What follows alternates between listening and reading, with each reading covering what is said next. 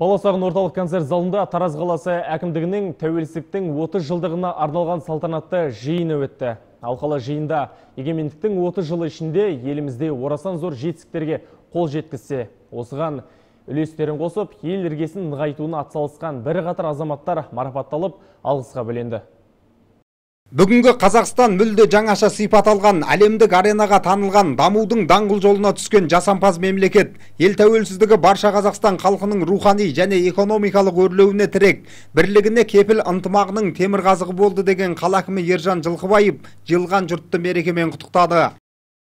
Тәуелсіздік жылдар еліміз экономикалық дағдарыстарды артқа тастап, қазіргі кезде мынау жаһандық пандемияны да еңсеріп отырмыз. Бұл да болса мемлекет басшысы қасым жомарт кемелұлының сындарлы саясатының нәтижесі. Құрметті тараздықтар еліміз күн санап көркейіп өріп өсіп өркендеу жолында. Оның жарқын көрінісін көне қаламыз тараздан да куә болуға болады. Бүгінгі біздің тәуелсіздігіміздің қайнар көзі қазақ халқының сан ғасырлар бойы күресінде азаттыққа ұмтылған қайсарлығында жатыр. Сондықтан да тәуелсіздік біз үшін қашанда киелі құндылық асыл қазына Салтанатты кеште мемлекетіміздің әлеуметтік экономикалық және мәдени дамуына, халықтар арасындағы достық пен ынтымақтастықты нығайтуға қосқан елеулі үлесі, белсенді қоғамдық қызмет үшін бір қатар өңір азаматтарына мемлекеттік наградалар мен мерекелік медальдар табыс етілді.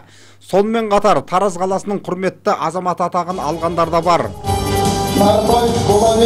30 жылға еңбек сіңген мемлекет тарапынан үлкен марапаттарға ие болып жатқан осы тәуелсіздікке атсалысқан ер азаматтар мен қыздардың орден медаль жауған күндер болып жатыр.